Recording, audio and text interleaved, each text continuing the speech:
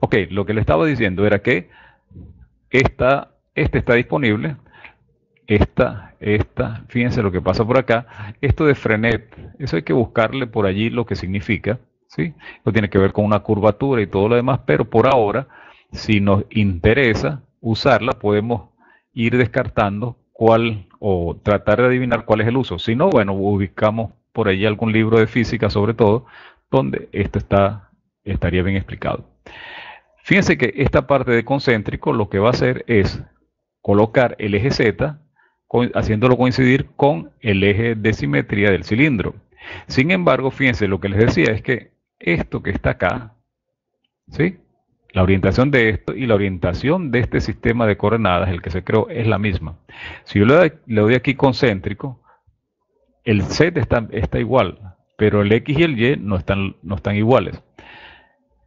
Para este tipo de simetría eso no importaría.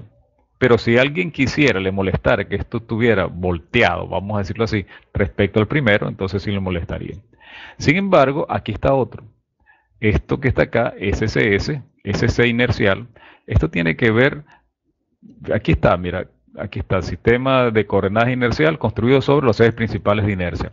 Esto también está, se puede encontrar en un libro de mecánica clásica, pero lo que les, lo que les decía era que, que aunque no sepamos qué significa un eje principal de inercia ni momentos principales de inercia, le damos un clic y vemos el efecto. ¿Está? Entonces el efecto que, que tiene esto al utilizar una circunferencia como referencia es que coinciden los, las orientaciones de X, Y, Z con las que tenemos inicialmente. Y aquí las tenemos en esta parte de acá. Voy a dejar esto hasta aquí. Después voy a utilizar otras referencias. Y aquí le voy a dar OK. Entonces, ¿qué es lo que tengo aquí ahora? Bueno, que tengo un cilindro, ¿sí? Que tiene dos sistemas de coordenadas, ¿sí? Uno en una cara y otro en otra cara. Uno con Z normal, hacia adentro del cilindro y otro con Z normal hacia afuera del cilindro. Bien, Vamos a dar esto ahora, esa sola parte, y venimos a, al modelo. Entonces, recordamos que aquí en parte estaría nuestro reservorio de partes. Está bien, que se pueden repetir en el ensamblaje tantas veces como decidamos. Entonces, vamos a colocar aquí esto que se vea y que no se vean los sistemas de coordenadas. Ya van a ver por qué. Bueno, dentro de un ratito van a ver por qué. Y ahora voy a desaparecer esto. Me voy aquí al modelo. Y aquí en el modelo, esto tiene un solo sistema de coordenadas local. Pero en el ejemplo que quiero explicar, que quiero ilustrar acá, lo que quiero es colocar varias partes llamadas cilindros y en distintas partes. Y voy a colocar entonces eh, varios sistemas de coordenadas local.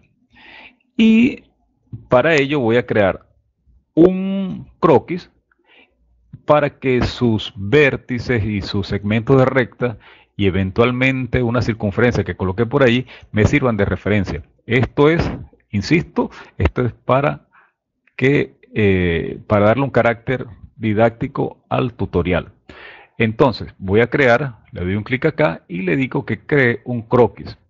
Ahora, si recordamos, si no tengo de dónde asir el croquis, me lo va a colocar en el plano XY yo no quiero que, él decida por mí, le voy a decir que decida yo, fíjense que ahí le di, le di con la, bueno, fíjense, no, le estoy diciendo que le di a la barra espaciadora, pero no se ve, pero si desaparezco esto, entonces sí se va a ver. Entonces voy a crear un croquis en el plano XY, en este de acá. Fíjense que para ensamblajes relativamente sencillos, se puede crear un único croquis mm, maestro cuando el ensamblaje es más elaborado, harán falta más de uno. Entonces, por ahora lo vamos a quedarnos con uno. Entonces, le doy un clic acá, creo el croquis, que me va a servir de, de croquis maestro, y le voy a dar ese nombre. Aquí le voy a colocar master. ¿Ok? Ahí está. Y ahora lo voy a colocar en el plano XY. Y no voy a hacer más nada. Y le voy a decir que seleccionó aquí cara plana y le doy OK. Bien. Ajá. Ahora, voy a editar esto. Voy a editar esto para tener, como les decía, aristas bordes y circunferencia que voy a utilizar de referencia cuando cree sistema de coordenadas local. Vámonos al siguiente video.